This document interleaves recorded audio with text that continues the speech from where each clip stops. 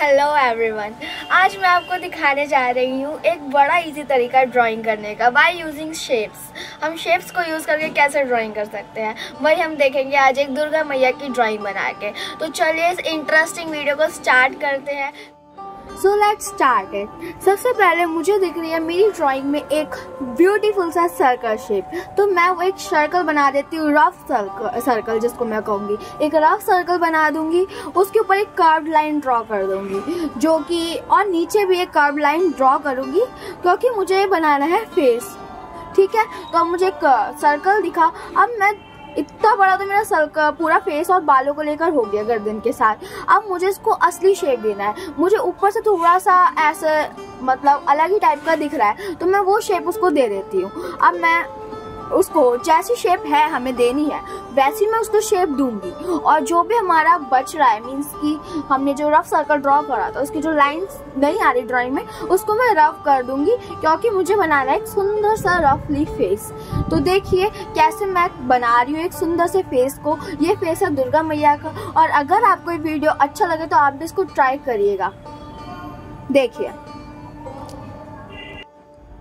तो देखिए, ऊपर जो मैंने कर्व सर्कल बनाया था, उसको जोड़ के मैंने मांग बना दी है हेयर्स के साथ और नीचे से मैंने उनकी गर्दन बना दी है। तो इतना हमारा पूरा इजीली बन चुका है, जिसमें हमें बिल्कुल भी कुछ बनाने की ज़रूरत नहीं पड़ी थी। अब मुझे ईयर्स बनाने हैं तो मुझे यहाँ पे किसी ओवल टाइप का शेप दिखा। तो मैंने दो ओवल्स बना लिए साथ में, ताकि ईयर्स का शेप जो है सेम रहे। ना एक बड़ा हो जाए, ना एक छोटा हो जाए। बाद में वो अपने आप एडजस्ट हो जाएगा। अब मैं उसको ईयर्स की शेप दे रही हूँ धीरे धीरे, और जो रफ बचा उसका, उसको मैंने रेस कर दिया। अब उसके अंदर मैं डिटेल्स ऐड कर देती हूँ कि हमारे ईयर्स असल में देखता कैसा है।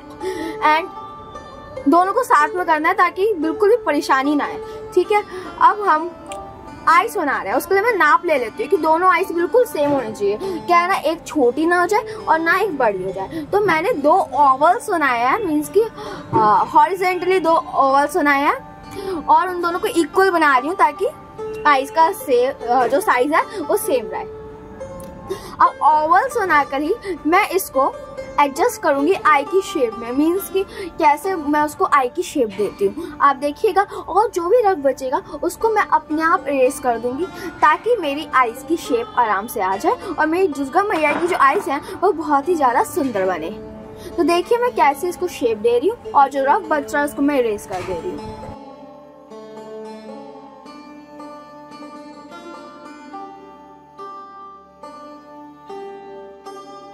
Now I am making a curved line above and below of the eyes. मैं दोनों ही आईज में ये डालूँगी क्योंकि मुझे बनानी है बहुत सुंदर एट्रैक्टिव आईज तो हमें ऐसे करेंगे। अब नोज़ बनाने के लिए मैंने ना एक वर्टिकल ओवल बनाया है एक हॉरिजॉन्टल ओवल बनाया है। अब उसको नोज़ की शेप दे रही हूँ ताकि वो आराम से इजीली हमारी नोज़ बन जाए। क्योंकि तो नोज़ बनाने में बहुत ज़्यादा वैसा हो जाता है, कोई कैसे भी बना लेता है बट मुझे बिल्कुल परफेक्ट नोज़ चाहिए थी, इसलिए मैंने ये करा। अब हम लिप्स बनाएँगे दुर्गा मैया के।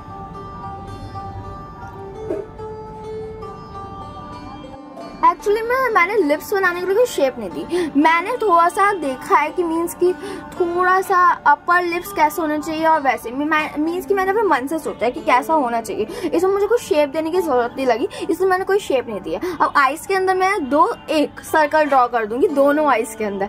ठीक है?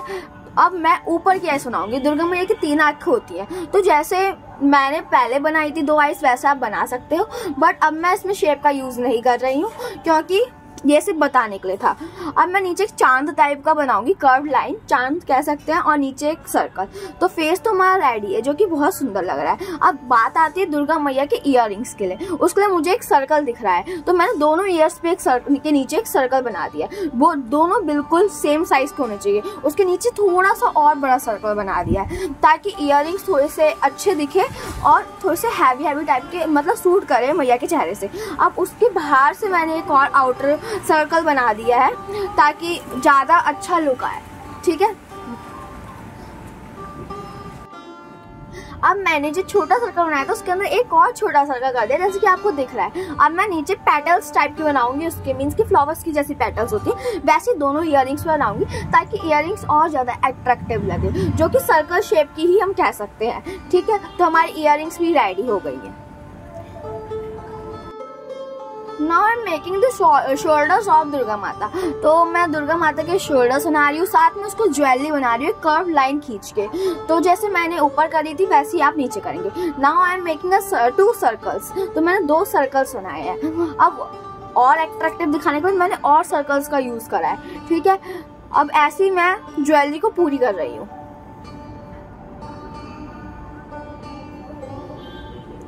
तो आप देख सकते हैं, हमारी ज्वेलरी देखने में बहुत अच्छी लग रही है। एक और सर्कल दो और सर्कल मैंने नीचे बनाया है ताकि वो और अच्छी लगे देखने में। अब नीचे से मैंने बड़ी बड़ी पेटल्स बनाई है। जैसे फ्लावर्स में देखते हैं हम बड़ी बड़ी पेटल्स वैसे करके मैंने बड़ी बड़ी पेटल्स बनाई है।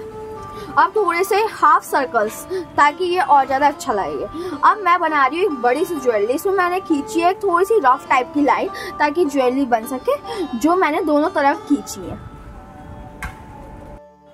अब मैं उनकी साड़ी को पूरा करूँगी थोड़ी सी रफ टाइप की लाइंस खींच के।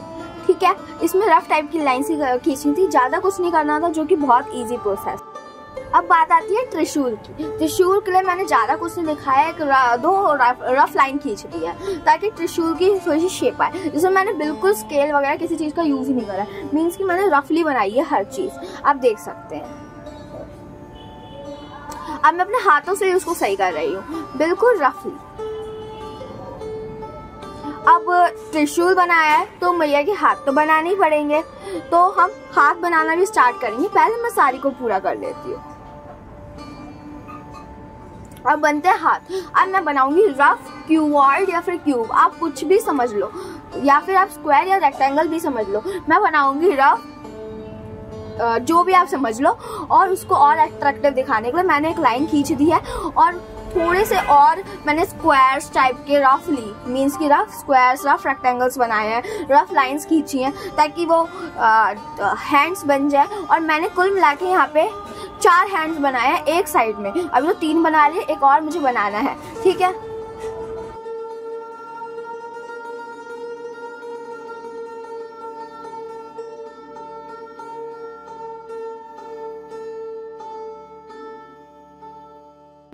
Thank you. तब तक मैं सोच रही पहले मुकुट को ही पूरी कर लूँ। अब मैंने यहाँ पे थोड़ा सा जैसे बटरफ्लाई नहीं देखी, उसके ऊपर दो एंटीने टाइप के होते हैं, मैंने वो बना लिए। अब नीचे से उसका पेट टाइप का निकाल दिया मैंने। तो ये इजी तरीके से मैंने बोला है ताकि आप भी बना पाए। क्योंकि जब भी हम ये वाले वो बनाते हैं मुकुट के ऊपर तो एक तो हमारा छोटा बन जाता है और एक बड़ा बन जाता है तो उसमें प्रॉब्लम होती है। इसलिए मैंने ईजी तरीका से आपको बताया ताकि आप भी बना लो। अभी थोड़ा सा तो प्रॉब्लम होएगी, इसलिए मैं रेस करके दोबारा इसको बना रही हूँ। और एंड में बहुत अच्छा बिल्कुल सेम बन जाते हैं दोनों।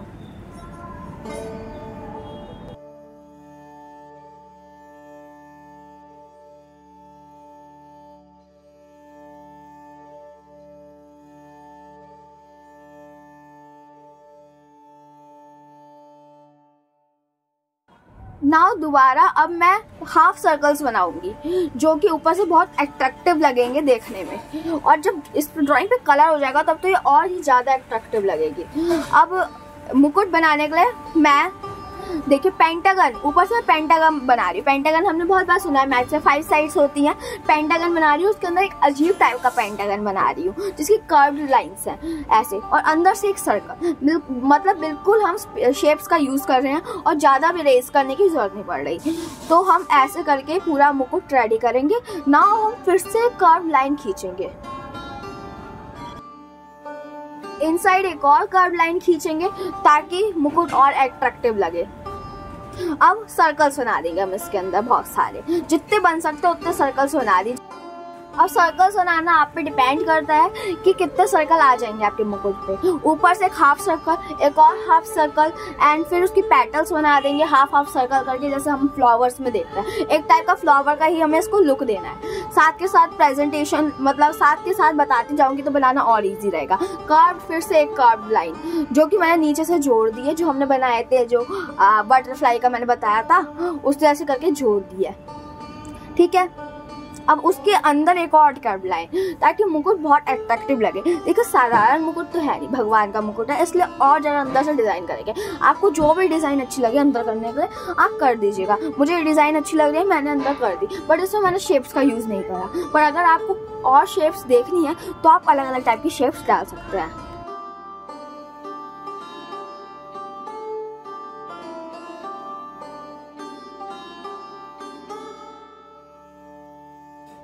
ऊपर से कुछ अजीब टाइप के पेंटागन्स बनाएँगे ताकि मुकुट और ज़्यादा अट्रैक्टिव लगे। ये आप पे डिपेंड करता है बनाए या ना बनाए बट मुझे मुकुट अट्रैक्टिव बनाना है तो मैं तो उसमें ऐड करूँगी।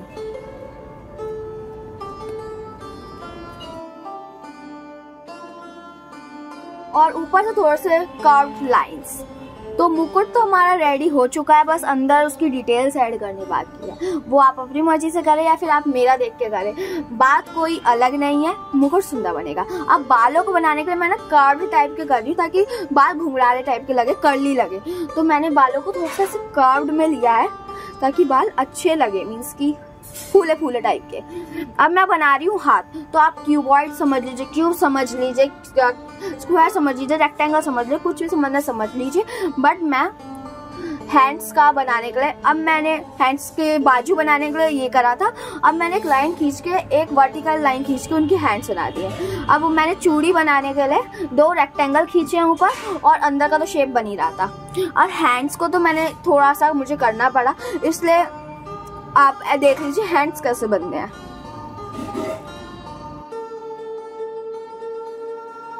अब हमारी ड्राइंग में जितनी भी डिटेल्स बची थी मीन्स कि कुछ रह गया हो तो हम उसको पूरा कर लेते हैं, क्योंकि ड्राइंग बिल्कुल डिटेल में होनी चाहिए, ठीक है? हर चीज़ दिखनी चाहिए। अब पूरी, कुल मिला के हमारी ड्राइंग बनने ही वाली है। थोड़ी सी डिटेल्स ऐड कर दूँ, फिर देखते हैं हमारी ड्राइंग कैसी लग रही है।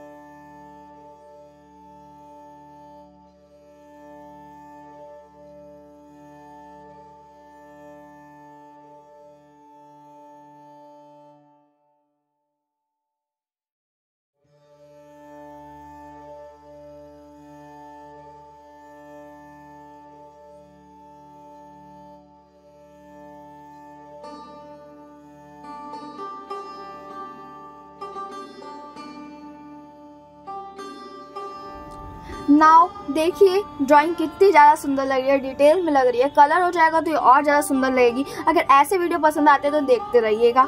Angel Alish blogs thank you